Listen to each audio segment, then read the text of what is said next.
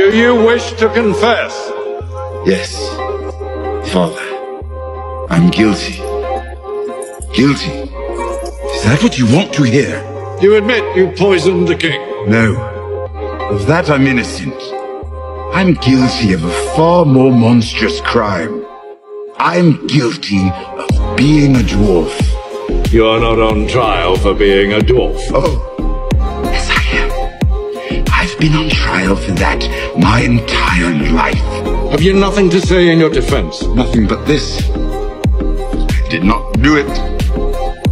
I did not kill Joffrey, but I wish that I had. Watching your vicious bastard die gave me more relief than a thousand lying whores. I wish I was the monster you think I am.